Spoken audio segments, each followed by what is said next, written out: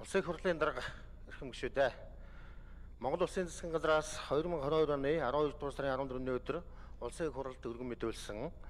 Эрүүгийн хуульд нэмэлт өөрчлөлт оруулах тухай хуулийн төсөл болон хамт өргөн мэдүүлсэн хуулийн төслүүдийг хэлцэх асуудлыг хууль зүйн байнгын ороо 2022 оны 12 дугаар сарын 14-ний өдрийн хурлаараа хэлэлцлээ. Хууль санаачлагч авилгын эсрэг нэгдсэн үндэсний байгууллагын конвенцэд нийцүүлэн. Хуулиар халдшгүй байдлыг баталгаажуулсан албан тушаалтны бүрэн эрхийг эрх бүхий байгууллага албан тушаалтанд төдөлзүүлээгүй бол гэмт хэргийг хөөнхөлцөх хугацааг зогсоож бүрэн эрх дуусах болсны дараа тоолох. Эрүүгийн хуулийн тусгай ангид заасан тохиолдолд нийтийн албанд ажиллах эрхийг бүх насаар нь хасах. Авилгын гэмт хэрэгт өршөөл уучлал үзүүлэхгүй байх.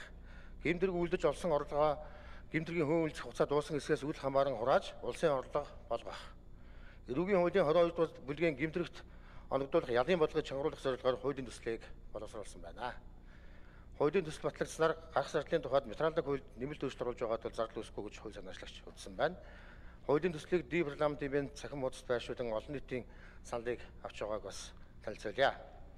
Байнгын орооны хурлаар хуулийн төслийг хэлцэх үед улсын хурлын гишүүн Ажшаа авилга гадам тушаалын гэмтрэхтэй холбоотой боловсруулсан хуулийн төсөлд хүний эрхийг хангах асуудлыг хэрхэн тусгасан хөөнөлц хугацаа болон хүндрүүлэх нөхцөл байдлын талаар улсын хурлын гишүүн Арднаас хэд төслийн 6-гийн 7 дугаар зүйлийн нэгдэх хэсэгт шүүх гэмтрэг үйлдсэн тогтоогдсон эм бурууга хүлээмжшүүлсэн учруулсан хохирлоо төлсөн бол эрүүгийн хариуцлагыг хөнгөрүүлж эсвэл эрүүгийн хариуцлагыг шийдвэрлэх мөн ял шийдвэрлэлийг сонгож болохоор тусгасан асуудлаар түүнчлэн хуулиар халдшгүй байдлыг баталгаажуулсан албан тушаалтны бүрэн эрхийг эрх хүрхий байгууллага албан тушаалтан төдөлзүүлээгүй бол гэмтрийн хөвөлцөг зогсоож бүрэн эрх тусар улсын дараа тоолж эхлэхээр заах биш шууд төдөлзүүлэх шаардлагатай талаар. Улсын хурлын гишүүн Б2 гэмдэргийг шуурхай идэвхэх зорилгоор хэрэг маргааныг хялбаршуулсан журмаар хянан шийдвэрлэдэг төдийгүй хэргийн холбогдож гин бурууга хүлээн хэргийг идэвхтэхэд тусалцаа үзүүлсэн тохиолдолд ялыг хөнгөрүүлдэг бөгөөд энэ зохицуулалттай холбоотой авилгын гэмдэргийн идэвхрэлт нэмэгдсэн эсэх үр нөлөө өгч байгаа эсэх. Хялбаршуулсан журмаар шийдвэрлэхгүй гэж заасан заасан авилга албан тушаалын гэмдэрэг илэрхгүй байх эрсдэл үүсэх эсэх. Мөн авилга албан тушаалын гэмдрэгт өршөөл уучлал үзүүлэхгүй байх талаар тусгасан. Ерөнхийлөгчийн бүрэн эрхэд хадаж байгаа эсэх талаар асуулт асууж хариулт авсан болно. Улсын хурлын гишүүн Б2 эрүүгийн хуульд хуулийн тусгай ангид заасанны дагуу. Тодорхой гэмтрэгүүдэд бүх насаар нь хорих ял оногдуулдаг бөгөөд авилга гадны тушаалын гэмтрэгт оногдуулах ялын бодлогыг чангаруулах хуулийн төслийг дэмжиж байгаа талаар.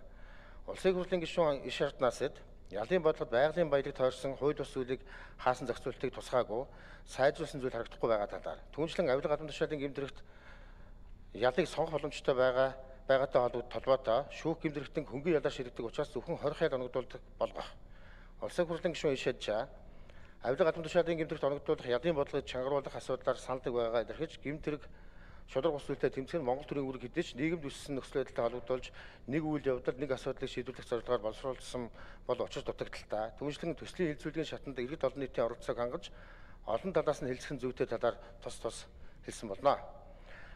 Эрүүгийн хуульд нэмэлт өөрчлөлт тухай хуулийн төсөл болон хамт өргөн мэдүүлсэн хуулийн төслүүдийг байнгын хорооны хуралдаанд оролцсон гишүүдийн олонх буюу 71.4% нь үдэл баримтлалын хүрээнд хилцгийг дэмжиж чуулганы нэгдсэн хуралдаанаар хэлцүүлэх нь зүйтэй гэж үзсэн болно.